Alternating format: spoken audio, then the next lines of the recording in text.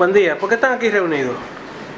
Aquí está el equipo técnico del Distrito Educativo 0701 del municipio de Tenares, naturalmente correspondiente a la Regional 7 de Educación.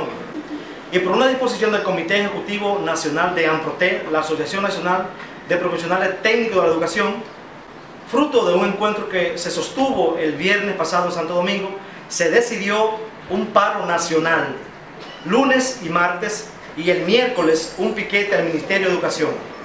¿Por qué se está dando esta situación a nivel nacional?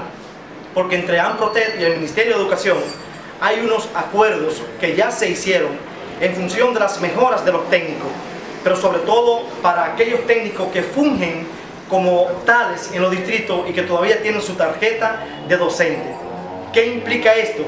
Que el ministro no ha cumplido con esos acuerdos arribados con AMPROTEC y en función de esto hay una paralización nacional a nivel de educación, a nivel técnico y el miércoles entonces estaremos recogiendo los resultados con un piquete directo al Ministerio de Educación. Y hoy está al unísono la Regional 7 paralizada con sus 7 distritos y el país entero está paralizado ratificando los acuerdos que se arribaron con el Ministerio de Educación y AMPROTEC y solicitándole al Ministro de Educación que cumpla con los acuerdos arribados con AMPROTEC. ¿Cuáles son esos acuerdos?